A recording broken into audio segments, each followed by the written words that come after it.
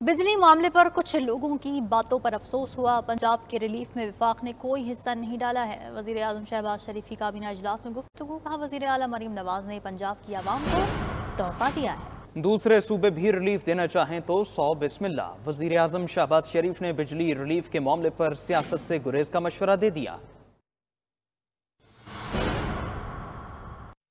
बदकिस्मती से बाज़ जगहों से कुछ ऐसी बात सुनने की मिली जिससे कि अफसोस होता है। बाकी सूबे भी हम बसमिल्ला करें वो उसमें अपना अपने सूबे के अवाम को ये रिलीफ दे सकते हैं। ये पंजाब ने एक तोहफा दिया पंजाब के अवाम को। के पी के, एक वज़ीर है उन्होंने कहा कि वफाक ने पंजाब के लिए ये सहूलत मुहैया की उन्होंने के पी को क्यों नहीं दी उन्होंने बाकी सूबों को नहीं दी? कितनी ज़्यादती की बात है।